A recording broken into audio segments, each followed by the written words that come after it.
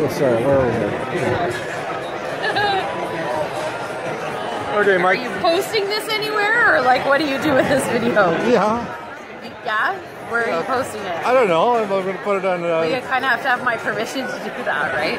well, do you do you want do you, do you want do you want this or no? Well, I'd like to know where it's gonna go. Well, probably on For sure. YouTube. On YouTube. Yeah. Okay.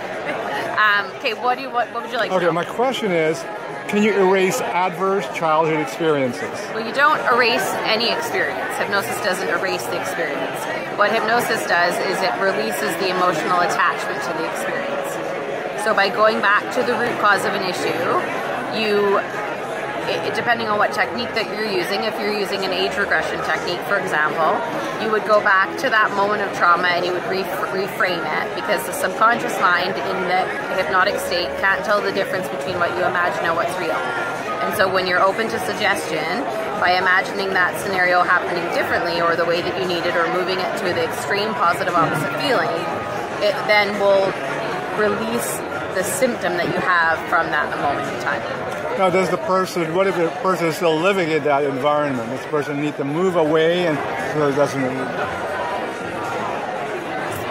These are two different issues. I, and I'm not a counselor, so like, you know, that you might be better having that person a- answer that kind of question. Do they need to retreat them with hypnosis? Well, if they're being re-traumatized on a consistent basis, Yeah. y- you're going to have more than one just root issue to different symptoms or one symptom, right? So, like when a person comes to see a hypnotherapist, they're going to come with one specific symptom in mind, and the hypnotherapist is going to work from that symptom, and then the person's mind will guide them where it needs to go to direct them to releasing that issue.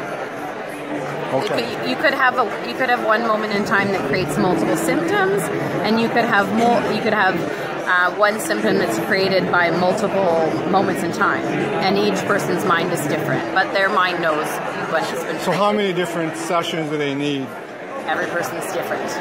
Yeah. Uh, Can, is it possible to, to have one session and it's done with?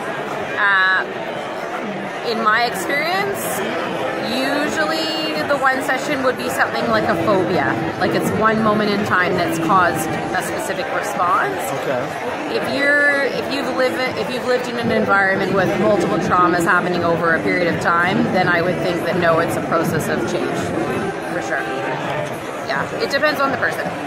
Thank you. Yeah, no problem.